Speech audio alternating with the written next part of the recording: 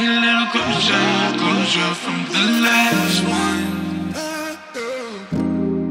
さんおはようございます。ももです。今日はね朝起きてからずっと目がむくんでてですね。全然目が開きません。ここのなんか水分が溜まっている状態で目が開かないんですけども今日は久々に「Get Ready With Me」を撮っていきたいと思います。起きてねすぐ洗顔スキンケアと目が悪いので私はもうコンタクトカラコン今日はね入れてるので早速ベースメイクの方から始めていきたいと思います。まずはメイクしやすいように髪の毛をちょっとまとめます。気温が秋っぽくなってきたのでちょっとこう秋のオレンジブラウンメイクみたいなのをねやろうかなと思って今机の上にねコスメをね今日使いたいやつ準備しました。今日前髪を立ち上げておきたいのでピンでこうやって縦にして留めておきます。いや黒いピンで留めたらあとは別のピンにも留めて。おくうん今日本当に顔がむくんでてやだ。顔がマジで眠そうですね。先にリップクリーム塗ります。これナミジョンのモイストリップクリームでこのリップクリームはね日焼け止め効果が入っているものです。日焼け止めはねいつものレビジョンスキンケアのマルチプロテクション UV を使っていきます。昨日ね寝る前にねめちゃくちゃ水をたくさん飲みすぎちゃって起きたらやっぱ顔むくんじゃったからこう寝る前に水分取りすぎはやっぱむくみの原因になりますね。うん今日もねなんかね適当に雑談電話しながらまあお話ししようかなとは思うんだけどなんか今日はねちょっと硬い感じで話すっていうよりかは結構ラフな感じで話そうかなと思って。そう最近ね引っ越したんです。9月になって。もうね引っ越してから前まで電車の音がすごくて、えー、約2年半ぐらい前のうちには住んでたんですけどあのずっと我慢してたんですよ。電車の音がすごくてうるさくてもう朝のねえー、5時から夜中の1時ぐらいまでずっと電車が走っててなんかもう私結構家にいることが多いのでなんかもうずっと電車の音を聞きまくっててなんか頭がおかしくなりそうだったんで引っ越そうと思ってちょっと今回やっと半年かけて物件見つけて探せたのでやっと本当に引っ越せて嬉しい。今日使っていくファンデーションはイニスフリーのウォートピクションの SPF34P がね2プラス入っています。色はね21番のナチュラルベージュです。本当にねなんか2020年私結構分岐点の年だなってすっごく感じててなんかまあいろんな人との出会いもあったり逆にこう別れもあったりする年でこうなんだろうすごく自分の中での人生の考え方もガラッて変わった年だったし本当にこう新たな出会いもその分たくさんあったし、まあ、自分にプラスになるような出会いが多かったしであとはなんか自分の中での心境の変化っていうのもねめちゃくちゃたくさんあった年だったからなんか2020年本当になんかこう、まあ、自分の中ですごくいい方向に変わってるまあ良かったかなと思ってはいるんだけどなんかそのタイミングでねなんかあこのお家に引っ越したいって思うなんかこう全部引っ越しとかも去年の末から探してたんですけどなんかその時はピピピってこう来るようなあビビビだ。ビビビって来るようななんかお家がなくて結構見に行ってたんですよいろんなお家を。もうかなりの数を見に行ってたんだけど全然なんかこう自分にここだって思う場所がなくて7月に、まあ、付き合ってたあの彼氏さんと別れてから、まあ、引っ越そうと思ってね環境も変えて新しい人生をなんだろうこう新しい気持ちでまたなんか再スタートさせてやろうじゃないのとか思ってやったらねなんかねまた見つかっちゃってねなんかすごいスムーズに全部物事が進んでいってなんか自分でもねめっちゃびっくり。そのまさに引っ越すタイミング今じゃんとか思って。もう勢いで引っ越しましたね。よかった引っ越してもうね電車の音に悩まないっていうのがねすっごい嬉しいですね。すごい快適。このクッションファンで久々使ったんですけど結構ツヤツヤに仕上がるクッションファンデですね。最近ずっとマット肌だったんでなんかツヤ肌が久々に感じるというかかなりツヤツヤに仕上がりますね。やばいメイク終わるまでにさこの目元のぬくみ取れるかな？取れたらいいんだけど。そして目のクマも気になるのでイニスフリーのこのマイコンシーラーをね今日は使っていきます。今日はねベースはイニスフリー縛りでいきます。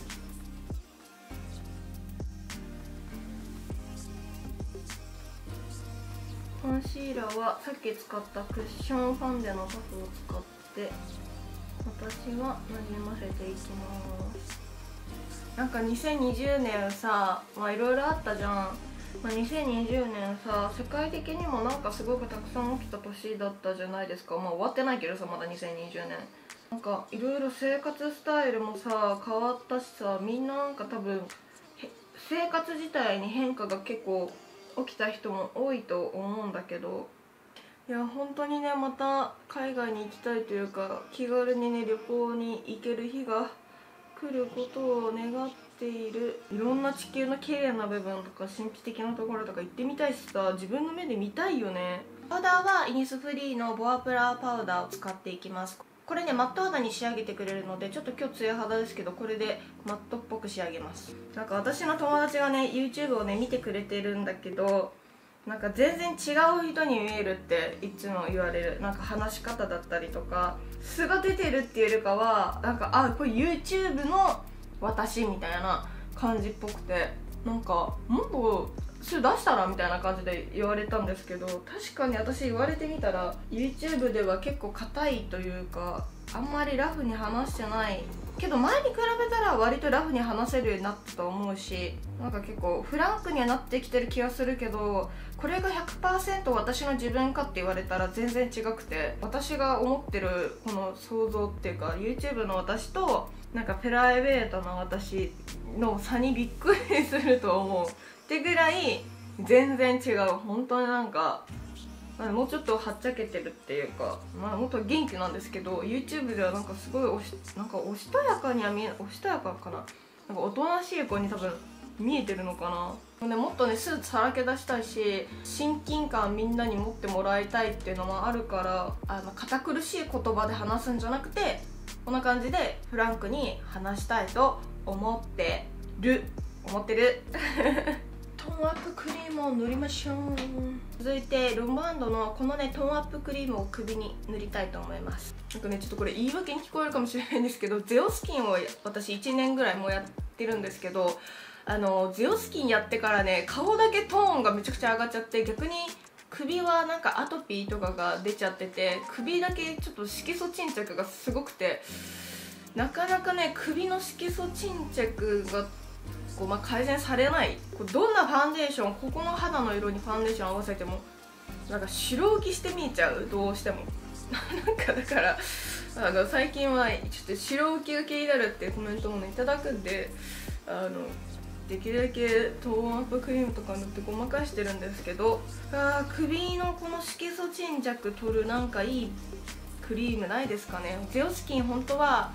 首私一時期やってたんですけど首ねダメって言われてやっぱりあの塗ったらダメってなんかこう塗ってもいいけど自己責任だしやっぱりこう弱いからこの皮膚の部分が。あんま良くはないみたいな言われちゃって逆に色素沈着悪化するかもよみたいなあの痒くて書いちゃうからみたいなって言われてやめちゃったそっからやっぱもうなかなかねちょっとこう戻んなくて悩んでます。なんかちょっとだいぶ今治ったんですけどあのここだけ黒いんですよね。色素沈着しててアトピーとかで。結構汗のとかあの首の後ろとかブツブツよくできちゃうんですけどいまだになんか大人になってもなんか汗のこのブツブツがな出ちゃうな。じゃあ今日はねセザンヌの振り出し式アイブロウペンシルの色はオリーブブラウンを使っていきます。あのインスタのねストーリーにゼオスキーのこの1年の経過の写真を載せたんですけれどもマジで変わった。なんかあのゼオスキーの攻め期っていうか私が、えー、去年の10月の末ぐらいからまあ1月2月ぐらいまで結構顔真っ赤っかで皮がベロベロにむけてた時期があると思うんですけどなんかその時からその後あの攻め期が終わって維持期間っていうものに入るんですけど入りたい人はね。でも私はまあ続けて維持期間やりたいなと思ったのであのゼオスキンのなんか維持期間っていうものをやったんですよ。攻め期が終わって維持期間でもかなり肌が変わってておでこのこの汚さ汚さっていうかあのニキビ跡とかシミとかがもうごっそり消えてて綺麗に。おでこマジで今一切ニキビできなくなって1年前とか本当おでこのニキビが超すごくててかあの今を振り返って自分が思うのはなんか去年ねすごいストレスたくさん抱えてて円形脱毛が剥げちゃったりとか頭が過敏性腸症候群っていうのかなっていうのでもう腸が痛すぎちゃってトイレに行くまでに耐えられなくってなんかトイレの前でねぶっ倒れたりとかもう本当にストレスをこうものすごく体で受けててでそれであの肌のコンディションも良くなくてね実は。ニキビが全然治らなかったんですよおでこの。なんかそれに比べたら今年はすっごい体の調子もいいし運動してるっていうのもあるし食生活もガラッて変わったせいかなんかねめちゃくちゃ体調がいいです。なんかこうであとストレスも溜めてない。全く今。ストレスフリーの生活をしてるからなんかすごい気持ちも楽だし精神的にも。で体もなんかこう今めちゃくちゃ楽であのストレスを溜めない生活すっごい大事だなと思って。でもね去年なんか自分ではストレスをけてるつもりはなかったんです。気づいたらそれが体に出てたっていうのがあってだからどこで自分がどうストレスだって感じるのかなっていうのが私いまあ、未だに分かってなくてなんか後からあーストレス溜まってたかもみたいな感じ。こう運動するっていうのはある意味今私の中ではすごいストレス発散になってるなって感じます。アイブロウマスカラはエクセルのねこちらのアッシュブラウンというカラーを使っていきます。というか秋という私が一番好きな季節が来ました。私の誕生日もやってきます。年を取るの前はすごい嫌だったけど今はなんか年取るのすごい怖くないです。年を取るたびになんかどんどん新しい自分を更新していこうというかかっこいい自分に最高の自分に出会えるように頑張ろうみたいな気持ちになるようになった。老いることが嫌っていうかなんか老けるの嫌だし年取るのも嫌だしみたいな感じだったけど今はなんか意外とそうでもない。むくみまくってて全然目が開かないんですけど一応今日ねカラコンつけてます。カラコンつけないのが良かったな今日でも。今日つけてるカラコンはパーソナルカラーに合わせたオータムという秋のカラコンをつけてます。今日ね久々にこれ使おうと思って引っ張り出してきました。え BEIGE CHUU で。これ韓国コスメブランドなんですけど色はウォールナッツっていうカラーを使っていきます。本当にこれね秋にぴったりのオレンジブラウン系のマット系のアイシャドウです。だいたい23時間後には目元のこのむくみっていうのは取れて普通の目元に戻るんですけどそれを仮定した上でアイメイクしていきます。時間が経てばね目のむくみはね取れてるからとりあえずちょっと今撮ってるのが朝だからね仕方ないもん。なんでむくんでる日に私ゲットレディーズミー撮ろうとしてるんだろうか。実はね最近お父さんと電話したんですけどお父さんがびっくりすること言って私ツイッターにも書いたんですけど30歳までには結婚しなきゃねみたいな話をしてきてえー、みたいな。私えなんで私の人生のストーリーパパが勝手に変えるのとか思ってびっくりしちゃって私。お父さんがそんなこと言うと思わなかったから30歳までになのみたいなって言って、まあ、お父さん私のお父さん結構年なんですよ。てかもうおじいちゃんレベルのまあ年なんで確かに、まあ、早く結婚してねあのなんか孫孫じゃない孫？孫を見せられたらまあそれは嬉しいよお父さんもきっと。ま、でもさ私の人生のペースってものがあるじゃん。てかそもそも私まあ結婚できたら結婚まあしてもいいと思うしタイミングだと思うし別に独身でもいいやって思ってて結婚願望すごいあるかと言われたら別にない。いや本当になんかタイミングがあって結婚できたらすごいそれはそれでいいし結婚できなかったらできなかったで別にそれはそれでいい。いいと思っててなんか結婚ってそんなに義務なのかなって思ったりもする？なんか親のために結婚とか違くない？だって自分の人生じゃん。確かに時と場合にもよるかもしれないしいろんな状況があるかもしれないけど女の人って特にこう年齢に左右されちゃいがちというかまあ会話の中でもなんか今何歳ですって言ったらあじゃあそろそろ婚活しなきゃねとかなんかそういうワードが出てくる？のが悲しいなって思って。ああ何歳までになんかしなきゃいけないっていう風潮がなんかあるのはちょっとなんかこう生きにくい世界というかちょちょっとねちょちょっとこうこ心が苦しくなるなって思う。なんかね私は勝手にそう感じてお父さんには「うん」って言った。なんかそれは違うと思うよって言って。てか別に結婚に限らずさ人生って結構タイミングじゃない？いろいろ。だってさなんかこう自分の中でいろいろタイミングがあるからこそさあの変化していくじゃん自分の人生ってか新しいストーリーがどんどんどんどん上書きされていくわけじゃん。本当に全部全てにおいてタイミングだと思うんですよ。そのタイミングも今まで自分がしてきた行動だったりとかそういうのも全部積み重なった上でのタイミング。自分がさいつかまあ結婚したいって思ったらなんか多分私も行動すると思うんですよ。それが来る日までとりあえず待ってみたいな。もしかしたら来ないかもしれないしもしかしたら来るかもしれないし。分かんないよねこればっかりは。あでもちょっと子孫は残したいかもしれない。続いてはね同じくベージュ中のサンセットピーチというカラーを使っていきます。これもねすっごい可愛くってゴールドラメがね入っている、まあ、ピーチカラーのほんと夕焼けみたいなカラーのアイシャドウですね。これをアイホールの、ま真ん中にちょいちょいとつけるぐらいでいいかな。今日ねアイシャドウをできるだけちょっとシンプルめに仕上げたいなと思ってるのであんまり濃くは入れないです。であとちょっと今日寝起きでめっちゃ声低いですよね。てか私でもね声変わった。自分で言うのもあれなんだけど矯正してから声のトーンが上がりました。なんか前もっと低かったんですよ。多分私の1年前の YouTube の動画を見ていただいたら分かると思うんですけどめっちゃ低いんですよ私声がもともと地声が。でもなんかね矯正してからどんどんどんどん声が変わってる気がするしなんか実際にすごいそれを視聴者さんもなんか気づいてくださってる方もなんかいるみたいで私もね感じてるんだよね。声確かに変わってる。なんかこう自分で意図的に変えたとか高くしてるとかではなくて地声がだんだん変わってるんです。なんかこれ関係してるのかな？いますか？矯正してて。声のトーンが変わったっていう人。はい。というわけでこんな感じでアイシャドウはのせ終わりました。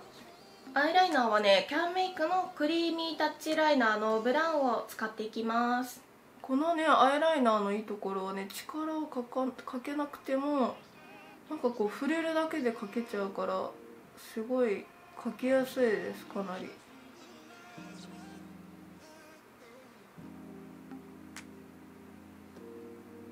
あれ？なんか羽ラインになっちゃった。今日の手は羽ラインの気分だったのかな。勝手に羽ラインになっちゃった。まあいっか。あー目がむくんでるから根元からまつげが上がりません。本当のこのメイクの完成形は、えー、多分23時間後って思っていただけたら 嬉しいです。今日マスカラは久々にペリペラのインクブラックカーラーボリュームをで色はねブラックを使っていきます。なんか最近マスカラねブラックが多いですね私。なんか最近はまつげをしっかり強調したメイクがしたいっていうのが多くて。気づいたらブラックが手に取ってることが多いですね。あと下まつげにもねマスカラは軽くつけようと思います。はいというわけでねこれでアイメイクは完成です。今日はオレンジブラウン系のメイクにしました。あどうですか？なんかあのカメラ引いたらちょっと目元のむくみさっきよりマシになった気がする。今日はねこのチークを使いたかったんです。ジュディ・ドールの The British Museum とハローキティとジュディ・ドールがコラボしたチークなんですけどじゃーん可愛いですよね。なんか秋メイクにこれから使えそうな色味だったので今日はこれを使いたいと思います。なんか今だんだん中国コスメが日本にこう進出しようとしているまだ初期段階だと思うんですけどなんか私がこうやって中国コスメ紹介してると中国コスメのイメージがなんかやっぱ良くない人もいるみたいで怖いとか肌にのせるなんてありえないとかあのコメントちょいちょいいただくんですけどよく考えたら韓国コスメから日本に上陸した時も同じような反応をしてる人があったんですよね。やっぱ韓国コスメなんて危ない危険だとか何が入ってるかわからないとか結構まあそういうコメントをいただくこともあったな昔韓国コスメ私が使ってる時は今はなんかもうなんなら韓国コスメすごく日本に浸透しててさもう当たり前じゃないけど本当に使ってる人の方が多い印象があるかなとは思うんですけどそんな感じなのかな中国コスメももしかしたら5年後10年後もう中国コスメ自体が当たり前の世界になっててあの日本でもこう普通に置いてある時代になってくるのかなって思ったりしてます私は。もちろん中国コスメもあのすごくこう良くないものも中にはありますよ。やっぱ偽物っていうものがあったりはするけどやっぱこうコスメの会社もしっかりしてるところはしっかりしてるのであのそういうのを自分でググってね Google 先生に聞いてみたら意外と大丈夫なものが多いというかこのジュディ・ドールっていうブランドもかなり中国では大手の、えー、ブランドかなと思うので安心して使っていただけたらと思います。大丈夫です。鼻の横ですね。鼻の横にちょんちょんちょんと。もう軽く入れます。なんかねあんまり濃くこういうブラウン系のチーク入れすぎちゃうと私結構なんか顔がねほてってる人に見えちゃうので薄くのせます。こういうチークをのせる時は。ブラウンチークをのせる時は私は結構お気持ち程度ぐらいでのせます。あんまりがっつりのせないように気をつけます。最近シェーディングこれ使ってること多いな。 rom&nd のこの02番の、えー、オータム系のカラーのやつですね、はい、これをよく私は使ってます。ノーズシャドウと軽くシェーディングをして終わりかな。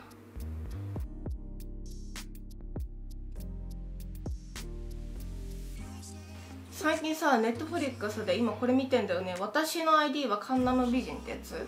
と最後だけど大丈夫ってやつ今一緒に見てるんですけど韓国ドラマどっちも韓国ドラマなんですけどすごく容姿に悩んでる女の子が、えー、整形をしてなんかどんどんこう明るい人生を取り戻していくっていう人と人物とであともう一人はもともと美人で生まれたけど美人なのになんかこう幸せじゃないというかいろんな葛藤をしてる女の子のなんかこう感じてあと恋愛も一緒にこう混ざってるまあ、ストーリー、まあ、説明が下手でごめんなさい。あのそういうストーリーなんですけどすごいなんか心にぐさっとくるというかなんかこれを見てたらああそうだよなって思う部分が結構多かったのでなんかねこのドラマはいろいろ考えさせられる内容だったからもし Netflix 登録してる人でカンドラなんか何見たらいいか分かんないっていう人いたらぜひ私の ID はカンナム美人ってやつ見てみてください。面白いです。もともと韓国ですごく人気だったウェブ漫画からドラマ化したっぽいですね。続いてハイライトはこれもねあの中国コスメです。ファーシー2の01番のハイライトです。このハイライトがねあまりにも美しすぎて私はもうガチでゴリでおすすめです。ハイライトはねあの高さを出したいところとかもあとちょっとツヤっぽく見せたい部分にのせます。このハイライトはねセザンヌのパールグローハイライトのなんかさらに進化版って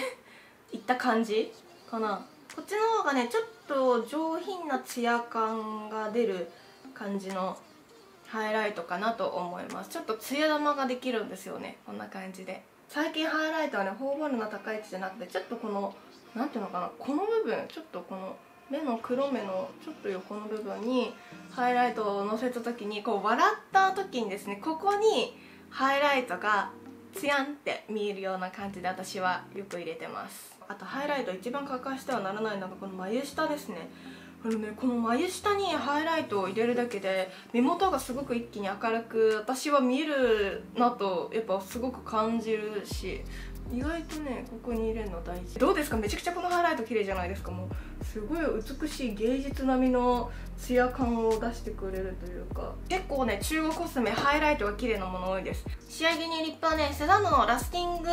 リップカラーの504番のこれもねオレンジブラウン系のカラーなんで今日これ使いたいと思います。これを唇全体にポンポンのせをしていって輪郭ちょっと私はぼかしていきます。今日はね仕上げに白のエッセンスリップオイルカラーの色はマリーゴールドを使っていきたいと思います。このグロスをのせると一気に唇がツヤっぽくさらにオレンジ味が足されるので今日のメイクに雰囲気がぴったり合うかなと思って今日はこれをつけます。というわけでねメイクが完成しました。今日はね秋に使えそうなこういうオレンジブラウン系のメイクをやってみました。ちょっとね明るめのオレンジ系のブラウンなのでイエベアキさんとかにはすごくぴったり似合うようなメイクなんじゃないかなと思います「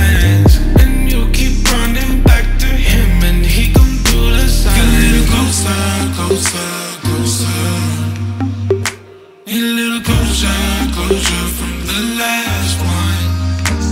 A little closer, closer. Get a little closer.